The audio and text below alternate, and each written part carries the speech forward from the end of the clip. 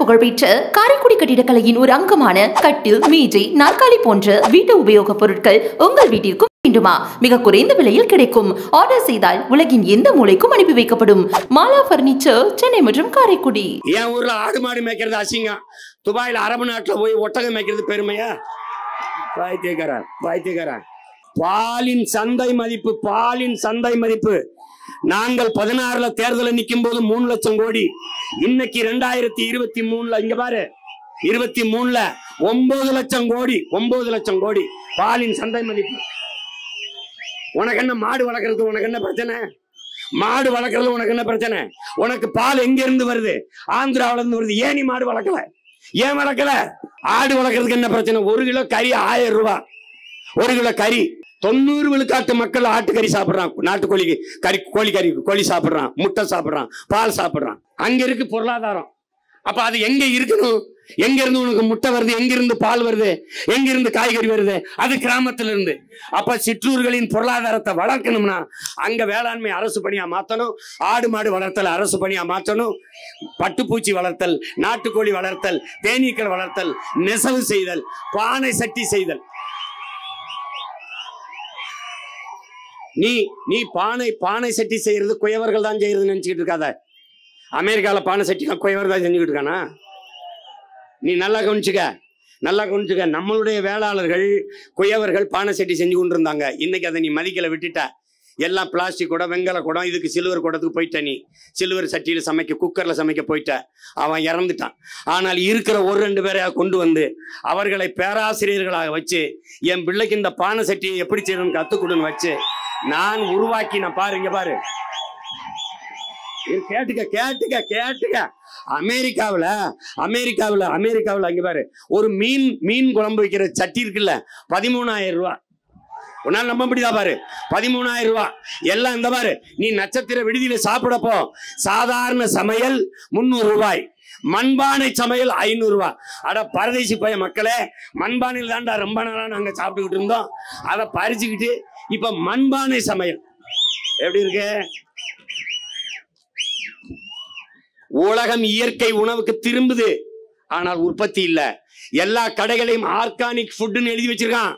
வார்த்தைகள் மட்டும்தான் ஆர்கானிக் இருக்கு. அங்க உற்பத்தி இல்ல. எவனும் விவசாயம் பார்க்கல. அப்ப என்ன செய்யறான் நெசவு. நெசவுலாம் அரசு பணி. நீ நெய்து கூட நான் சந்தைப்படுத்திக்கிடுவேன் நீ பானையை செய்ய நான் உலகம் புறா ஏற்றுமதி செய்ய உன்னால நம்ப முடியல. என் தம்பி முத்துக்குமார் அமெரிக்கால வேலை செஞ்சுக்கிட்டு இருந்தான். இன்னைக்கு கன்னியாகுமரி மாவட்டத்தில் நாகர் நாகர்கோவில் மாவட்ட செயலாளராக இருக்கான். அவன் வந்து அமெரிக்காவில் பார்த்த வேலையை விட்டு விட்டு வந்து என் பேச்சை கேட்டு இங்கே திருநெல்வேலியில் இந்த மண்பானையை செஞ்சு அமெரிக்காவுக்கு ஏற்றுமதி செஞ்சுக்கிட்டு இருக்கான். மண்பானை சட்டியை. உன்னால் நம்ப முடிய மாட்டேது. நாங்கள் நாங்கள் சொல்றதுல நான் சொல்றதுக்குள்ள இருக்குல்ல உனக்கு இன்னைக்கு காமெடியா வேடிக்கை இந்த பையன் என்னைய அதே பேசிட்டுருக்கான்னு நினைச்சுக்கிட்டு இருக்காங்க. நினைச்சுக்கிட்டு இருக்கேன் இந்த மாதிரி அமெரிக்கால என் தம்பி அமே அர்ஜுன் இருக்கான். வெட்டி வேறு வெட்டி வேறு எண்ணெய்க்கு கடுமையான விலை இருக்கு. வெட்டி வேறு எண்ணெய் இருக்குல்ல அதுல தயாரிக்கிற எண்ணெய்க்கு அதிகப்படியான விலை. லட்சக்கணக்கா போகுது. இங்க முருங்கக்காய் அங்க முருங்கான் எல்லாத்தையும் வச்சு விற்கிறான் ஏய் மாடு போடுற சாணியை தட்டி எர்ராட்டி இருக்குல்ல ஒரு எரு ராட்டி முன்னூத்தம்பது ரூபா. நீ பொருளாதாரம் எங்க இருக்குன்னு தெரியாம நீ அல்லாடிக்கிட்டு இருக்க? இந்த நாட்டுக்கோழி உற்பத்தியை பெருக்காம இந்த பைத்தியக்காரங்க அதுக்கு ஒரு டூப்பை போட்டான். எப்படி? பண்ணக்கோழி. இது நாட்டுக்கோழி மாதிரியே இருக்கும். ஆனா நாட்டுக்கோழி இல்ல. இது நல்ல ஆட்சி தர மாதிரி நடிப்பாங்க. ஆனா நல்ல ஆட்சி கிடையாது. ஏன் இல்ல ஏன் இல்ல அவன் மாடல். மாடல் மாடல் அவன். மாடல்.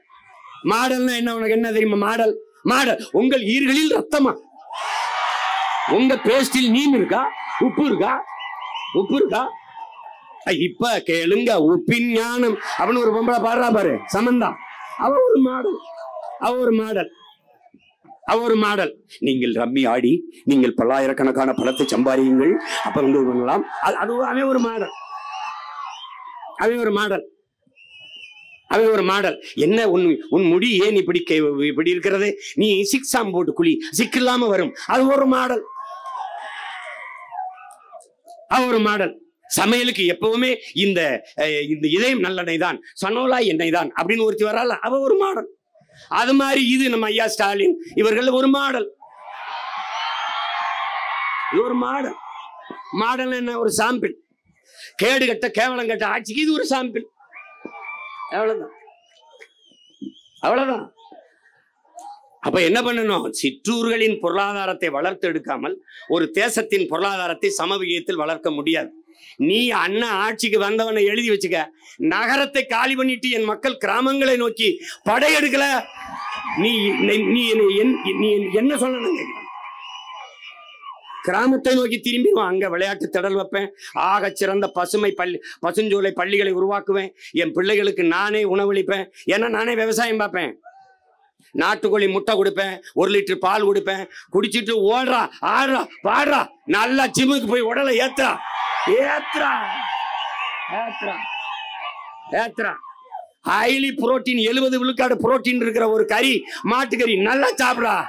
மாட்டுக்கறி மருந்தா சாப்பிட்றான் மருந்தா மருந்தா சாப்பிடுறா எல்லா ஊர்களையும் உடற்பயிற்சி கூடம் கட்டி வச்சிருக்கேன் சிற்றூர்களை உடற்பயிற்சி கூடம். போடா ஜிம்முக்கு போய் நல்லா முகிழ்க்கும் தசையிட அரும்புவது அழகுங்கிறான் தெரிவிக்கா. ஏத்ரா பாடியை தூக்குடா. தூக்கி அப்படி தெருவில் நடக்கும்போது ரெக்க எழுதிக்கிட்டு அப்படி போடா. யாருன்னு கேட்டா தமிழன்டா தமிழன். பயப்படணும். கிட்ட நெருங்க பயப்படணும் எவனும். சும்மா வந்து இவங்க வந்துக்கிட்டு வந்து நகரத்தில் நாங்கள் பாலம் கட்டுறோம் பாலம் கட்டுறோம். என்னால் சேலத்துக்குலாம் சேலத்துக்கு போனேன் ஒரு தடவை. இந்த பேரை மாற்றி பாலம்னு வச்சு விட்டுருக்கடான்ட்டேன் வெறும் பாலம். ஏன்னு கண்ணுக்கு தெரியுது களவாங்கிறது எளிது. கண்ணுக்கு தெரியுது பாரு. ஏய் அறுபது ஆண்டுகள் ஆண்ட அந்த கட்சிகள் தலைநகர் சென்னையில சரியா பாதை இல்ல சாலை இல்ல. தலைநகர் சென்னையில மழைநீர் கழிவு நீர் ஓட வா காவா இல்ல வாய்க்கால் இல்ல. அப்ப நீ பாத்துக்க. ஒரு ஐம்பது ஆண்டுகள் கொடுத்துட்டு இந்த பிள்ளைகிட்ட ஒரு அஞ்சாண்டு கொடுத்துப்பாரு கொடுத்து பாரு. எப்படி கொண்டு வரேன் பாரு நாட்டை. எப்படி கொண்டு வரேன் பாரு.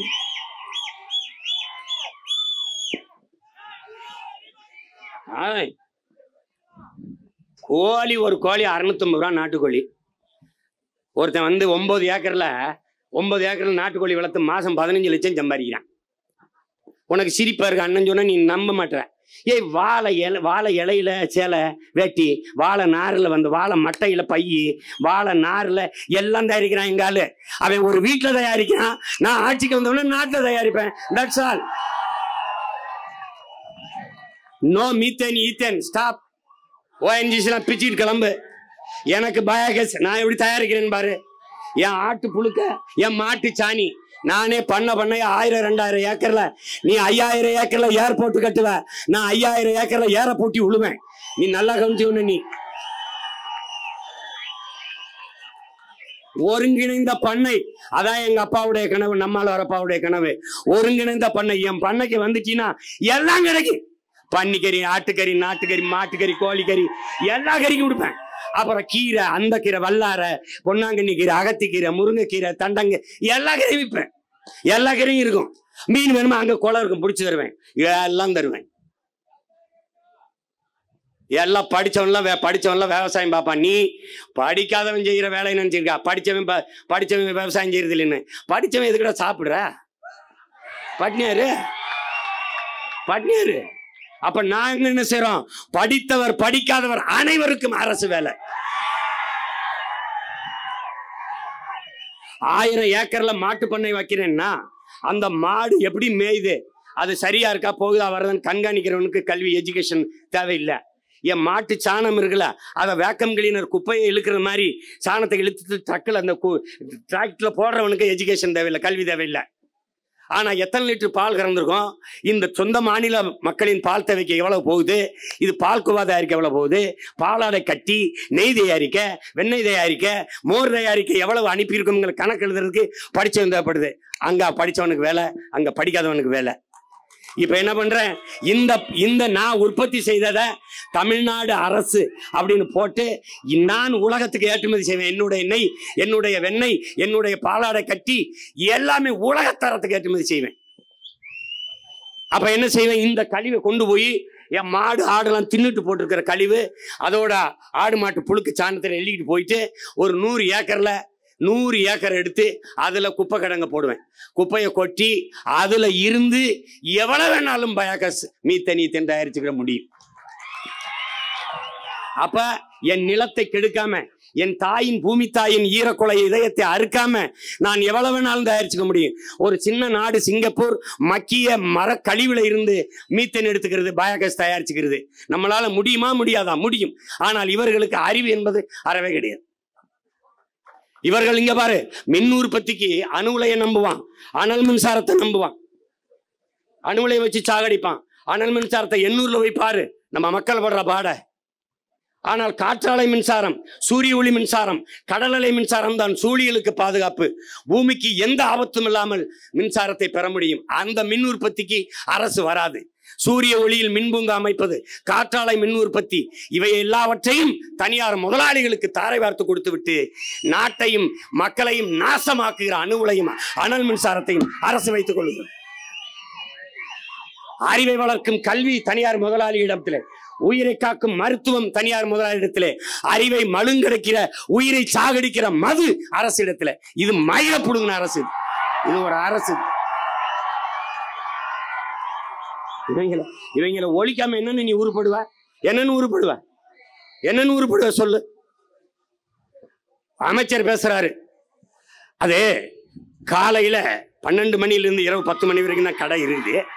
அதனால இப்போ இப்போ வந்து நம்ம என்ன செய்யறோம்னா காலையில் ஏழு மணியிலிருந்து திறந்துடலான் அது திறந்துடலான்னு இருக்கும். ஏன்னா கடும் வேலைக்கு போகிறவங்க இப்போ கட்டட வேலைக்கெல்லாம் போகிறவங்க கொஞ்சம் குடிச்சிட்டு போனால் அங்கே மேலே இருந்து கீழே விழுந்து சாகுறதுக்கு வசதியாக இருக்கும். அறிவு பாரு. அறிவு பாரு. அந்த இங்க பாருங்க இங்க பாருங்க நான் சொல்லிட்டேன் பாருங்க. காலையில குடிக்கிறவங்களை யாராவது குடிக்காருன்னு சொன்னீங்க நான் கடும் கோவம் ஒத்துக்கிற மாட்டேன் நான். டேய் டேய். டேய் உங்ககிட்ட நாங்க சிக்கிக்கிட்டு படுற பாடு இருக்கடா. வா. பெரும்பாடு பெரும்பாடு பெரும்பாடு. காலையில கோயிலுக்கு வா. காலையில தேவாலயத்துக்கு வா. காலையில தொழுகைக்கு வான்னு பெருமக்களே கொஞ்சம் கருணை கூர்ந்து காருங்க. கொஞ்சம் கருணை கூர்ந்து பாருங்க இவங்கள. காலையில குடிக்க வா. படிக்க அதெல்லாம் போகாது. இங்க வா. இங்க வா. உங்க மகன் ஆட்சிக்கு வந்தா சனி ஞாயிறு மட்டும்தான். நாலு காட்சி அஞ்சு காட்சி திரையரங்க. பள்ளியிலான வேலை நாட்களில் ரெண்டே காட்சி தான் மாலை ஆறு மணிக்கு ஒரு ஆட்டம் இரவு பத்து மணிக்கு ஒரு ஆட்டம். காலையில் எவனும் திரையரங்கு மூடி போட்டு காலையில் ஒன் நோ நோ திரையரங்கு. இந்த வார் நீ நீ இங்கே வார் ஒரே வாரத்தில் எடுக்கிறத ஒரே வாரத்தில் எடுக்கிறதுல இ- நாலு வாரம் ஓட்டி எடுத்துக்க காசை எடுத்துக்க. என் பிள்ளைகளை படிக்க அனுப்பணுமா நான் அந்த ஒரு நாசம் பண்ணக்கூடாது. நோ கடைகள் சாராய் கடைக்கு எல்லாம் மூடிடும் அப்ப என்ன அவனுக்கு உழைத்து களைத்திருப்பான? ஒவ்வொரு தேசிய இனத்திற்கும் உலகில் மது இருக்கு. ரஷ்யானா ஐயோ, ஒயின் இருக்குது. இங்க ஜின் இருக்குது ஓட்கா இருக்குது. ஒவ்வொரு நாட்டிலையும் சாம்பைன் இருக்குது. இது எல்லாம் ஒவ்வொரு நாட்டிலையும் ஒரு தேசிய மது வச்சிருக்கான். நாங்கள் தமிழ் தேசிய இன மக்கள். என் நாடு தமிழ்நாடு. என் நாட்டில் ஒரு மது இருக்குது. அது பணம்பால் தென்னம்பால் மூலிகை சாறு. அவ்வளவு சிற்றூர்களின் பொருளாதார வளர்ச்சி. பனைமரத்தை நீ வெட்டினா உனக்கு பாறையை கட்டிடுவேன். கொண்டே வரும் உன்னை நான் சொல்லிட்டு பார்த்துக்க தொலைச்சு போடுவேன் பணம் வெட்ட முடியாது ராஜா. மரத்தை எல்லாம் அப்படி வெட்ட முடியாது. ஓன் தோட்டத்துல நீ நட்டு வளர்த்த மரமா இருந்தாலும் என்கிட்ட அனுமதி வாங்கணும். ஒரு மரத்தின் கிளையை வெட்டினால் மனிதர்களின் கையை வெட்டினதை போல குற்றம் என்று கருதி உன்னை ஆறு மாசம் ஒதுக்கி போட்டுருவேன். தொடமாட்ட நீ. அண்ணன் நான் வளர்த்துட்டேன் இந்த மரத்தை வளர்த்துட்டேன். எனக்கு இப்போ வீடு கட்டுறதுக்கு இந்த மரம் தேவைப்படுது. நான் அதை வெட்டிக்கிறவா அப்படின்னா வெட்டு. நூறு மரம் நட்டு ஒரு மரம் வெட்டு. அப்போ மாநகராட்சி எங்கால எங்கால கையெழுத்து போட்டு கொடுப்பாரு? வட்டாட்சியர் மாவட்டாட்சியர் கையெழுத்து போட்டு. ஐயா அவர் நூறு மரம் நட்டு வளர்த்துட்டாருங்க. ஒரு மரம் வெட்ட அனுமதி வெட்டிக்க. அவ்வளோதான் தொலைச்சு போடுவேன் அங்கெல்லாம் ம். இவன் இவன் வந்து கார் ஓட்டிட்டு வருவான். காரு கார் ஓட்டிட்டு வந்து அந்த ஓட்டுநர்கிட்ட சொல்லுவான் மரத்து நிழல்ல வண்டியை விடுப்பான் டே மடப்பை மயனே மரத்து நிழல்ல வண்டியை விடுறதுக்கு முதல்ல ஒரு மரத்தை நட்டு வளர்க்கணும்டா. மரத்தை நட்டு வளர்க்கணும். மரத்து நிழல்ல வண்டியை விடு. அதுக்கு மரம் வளர்க்கணும். அதெல்லாம் இந்த மடப்பை மக்களுக்கு எங்க புரிய பொருளாதார வளர்ச்சி என்பது பொருளாதாரம் என்பது எங்க இருக்குதுன்னு என் உடன் பிறந்தார்கள் புரிஞ்சுக்கணும். இன்னைக்கு வந்து சிற்றூர்களை சிற்றூர்களில் தான் நம்ம நாட்டின் சம வீதத்தில் வளர்த்து எடுக்காம கிராமங்கள் காலியாகாமல் பார்த்துக்கணும். இல்லைன்னா நகரங்கள் பிதிங்கி வழியும். இன்னைக்கே இந்த நிலைமைனா இன்னைக்கு ஒரு கிலோ வெங்காயம் இரநூறுவாய்னா ஐந்து ஆண்டு கழிச்சு ரெண்டாயிரம் ரூபாய் ஆகாதுன்னு நீ எப்படி நம்புற? தக்காளி நூற்றம்பது ரூபாய்னா ஏன் அது மு- அது வந்து அன்னைக்கு ஆயிரத்தி ஐநூறுரூவாயா ஏன் வராது? அந்த நிலைமை வந்துச்சுன்னா என்ன பண்ணுவ? எல்லா காலத்திலையும் நமக்கு ஏப்ரல் மேல தண்ணி கிடைக்க மாட்டேங்குது. குடத்தை வச்சுக்கிட்டு நம்ம சின்னம்மா பெரியம்மா அக்கா தங்கச்சி எல்லாம் வீதியில் நிற்கிறாங்க ஆனால் எல்லா காலத்திலையும் இந்த விற்கிற முதலாளிக்கு மட்டும் தண்ணி கிடைக்குதே? அது எங்கேருந்து கிடைக்குது? அவன் ஃபோன் அடித்தா வந்து அப்படி கேன் இறக்கி விட்டு போகிறானே எப்படி? எல்லா கடையிலையும் கிண்ல அக்கோஃபனா கிடைக்குதே? அது எப்படி? அது எப்படி? அப்போ தண்ணீர் விற்பனைக்கு கிடையாது. தண்ணீர் மானுட தேவை இல்லை. தண்ணீர் உலக உயிர்களின் உயிர் தேவை. அது ஆட்டிற்கு மாட்டிற்கு கோழிக்கு குஞ்சிக்கு ஈக்கு எறும்புக்கு நாய்க்கு நரிக்கு பூனைக்கு சிங்கத்துக்கு கரடிக்கு எல்லாத்துக்கும். அது பூண்டுக்கு மரத்துக்கு புல்லுக்கு செடிக்கு எல்லாவற்றுக்குமான உயிர் தேவை நீர். அந்த நீர் சந்தை இல்லை. நீர் விற்பனைக்கு என் மாநிலத்தில் கிடையாது. நீ எங்கே வித்துக நீ இப்பெல்லாம் நீட்டுன்னு சொல்ல வேற எங்கேயாவது நீட்டுன்ற ஏ பொது சிவில் சட்டமாம்டா. ஒரே சட்டமாம்டா. அது இந்தியாவிலாம்டா நமக்கு இல்லைன்னு இப்ப சொன்னா பாருங்க என் தம்பி. இடும்பு கார்த்திக் சொன்னா பாருங்க. சந்திரசேராவை காட்ட ஆட்டம். அவர் கூட கொஞ்சம் படித்தவருக்கு நாகரிகமாக நான் நல்லா நகர்ப்புறத்தில் வளர்ந்துருப்பாரு. நான் யார் தெரியுமில நல்லா அடர்ந்த பனங்காட்டுக்குள்ள நல்ல கருவு காட்டுக்குள்ள வாழ்ந்த ஒரு காட்டுப்பய. புரியுதா? அதனால நீ எனக்கு இந்த ஆட்டம்லாம் காட்ட முடியாது. நம் நாடு ஒரு பாலைவனமாக மாற்றப்பட்டு கொண்டிருக்குது. நமக்கு வந்து படிக்க கல்வி இல்லை படித்தா வேலை இல்லை உணவு இல்லை உணவும் உணவாக இல்லை நஞ்சாக இருக்குது நல்லா கவனிச்சுக்கணும் நீ. எல்லாம் மரபணு மாற்றப்பட்ட விதைகளாக வந்துருச்சு. இப்போ நாம் ஒருவேளை நம்மகிட்ட அதிகாரம் வரும்போது நம்ம எவ்வளவு சிரமப்பட வேண்டியது இருக்குன்னா ஒன்றுல இருந்து இல்லை ஒரு புள்ளியிலிருந்து நாம் உயிர்ப்பித்து மேலே வரணும். விதையை மீட்கணும் அந்த விதையை பெருக்கணும் ஆடு மாடு வளர்த்தல்னா எல்லாமே சீம பசுவாக இருக்குது அதை வளர்க்க முடியாது. நாட்டு மாடுகள் இனம் அருகிருச்சு. அப்போ நம்ம நம்மளுடைய விந்தணுக்களை எடுத்துகிட்டு போய் பிரேசில் பெருக்கிட்டான். அவன் பூரா நம்ம நாட்டு மாட்டை வச்சுருக்கான். அங்கே இருந்து கொண்டு வரணும். குஜராத்து அந்த மற்ற பகுதியில் இருக்க இந்த ஓங்கோல் கிரு இந்த மாதிரி இந்த மாதிரி இதெல்லாம் அதெல்லாம் திருப்பி கொண்டு வரணும். கொண்டு வந்து அதை பெருக்கணும். பெருக்கி நம்முடைய பிள்ளைகளுக்கு இந்த நாட்டில் பசி என்கிற வார்த்தையே தமிழன் அகராதியில் இல்லாமல் ஒழிக்கணும். பசிங்கிற ஒன்றே இருக்கக்கூடாது. நம்ம இங்கே பாரு மலை மலைகளில் விளையிற இந்த கிழங்கு வகைகள் எல்லாவற்றுக்கும் குறிஞ்சி அங்காடி. கடலில் மீனை பிடிச்சி நம்ம மீனவ சொந்தங்கள் கொடுக்க வேண்டியதான் நாம் நெய்தல் அங்காடின்னு மீனை வாங்கி நாம் சந்தைப்படுத்திக்கிறோம். நம்மளே அரசே பல படகுகளை வாங்கி நம்ம மீனவ மக்கள்கிட்ட கொடுத்து நீ பாதுகாப்பாக போய் மீன் பிடிச்சி கொண்டாந்து எனக்கு கொடுத்துரு. நான் வித்துக்கிறேன். அது நெய்தல் அங்காடி மறுபடி குறிஞ்சி அங்காடி கத்தரிக்காய் வெண்டைக்காய் சொரக்காய் தக்காளி எல்லாத்தையும் அரசே விற்கி நீ சுகி இந்த சுமோட்டோவுக்கு அடிக்கிறீல ஃபோனு அந்த மாதிரி எனக்கு அடிச்சுன்னு வச்சுக்க. படித்த இளைஞர்கள்லாம் இருப்பாங்க. நான் அவனுக்கு வண்டி கொடுத்துருவேன்.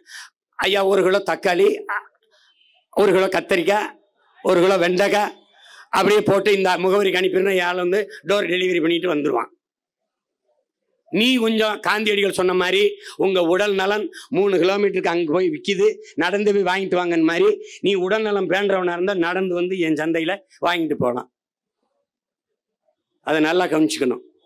ரேஷன் கடையில் தக்காளி விற்கிறவன் நல்ல நான். ரேஷன் கடையில் தக்காளி விற்கிறதில்லை அதனால கிராம பகுதியில் இன்னும் எங்கள் தோட்டத்தில் வெங்காயம் விளையுது. எங்கள் வயலில் வந்து கத்தரிக்காய் விளையுது தக்காளி விளையுது கொத்தவரங்காய் விளையுது கீரை விளையுது எல்லாம் விளையுது. அதனால நாங்கள் யாருக்கிட்டையும் கையேந்தலை. அது வாழ்க்கை தான் தற்சார்பு வாழ்க்கை. உலகத்தில் ஒருத்தன்கிட்ட எவனுக்கிட்டையும் கையேந்தாம ஒருத்தன் வாழ முடியும்னா அது வேளாண்மை செய்கிற வேளாண் குடிமகன் விவசாயியால் தான் வாழ முடியும். விவசாயத்தை விவசாயத்தை கைவிட்ட நாடுகள் எல்லாம் பிச்சை எடுக்குது. ரொம்ப க ரொம்ப ரொம்ப பின்தங்கி போயிடுச்சு அடிப்படை வந்து உணவு தேவைதான். உணவு மிகப்பெரிய சந்தை.